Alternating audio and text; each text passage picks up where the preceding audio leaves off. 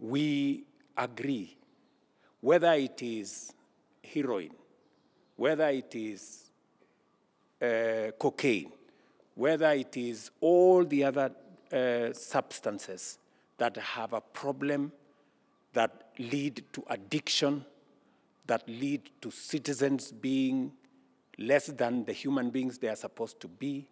We're all united as a people, as a country, across religions, across communities, across counties, that we must stand up to drug and substance abuse and deal with it.